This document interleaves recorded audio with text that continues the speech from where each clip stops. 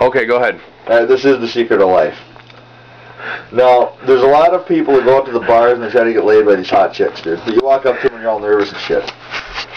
There's nothing quite like that feeling you get in your pants when you walk up to a fat, disgusting hog, and, and, and you, you know, your fucking dick springs up a little bit because you already know you're gonna get laid, dude. For real. It's just like, it's a guaranteed deal, dude. Because she hasn't been laid in years, dude. I mean, it's just probably disgusting. But I'll tell you what, the fat hog bitches keep their shit clean. And they suck dick. They suck dick like a motherfucker because the hot bitches won't suck a dick, dude. It takes the hogs to suck a dick. For real. I'm telling you, man. Fucking seriously, when's the last time you met a hot chick at a bar and she's like, well, all I want to do is suck some dick. Do you go meet a fucking hog, dude? She's like, oh, fucking, she eats that shit like it's a goddamn hot dog, dude. She's fucking munching on some Cheetos. You, man. That's the secret of life. Thank you.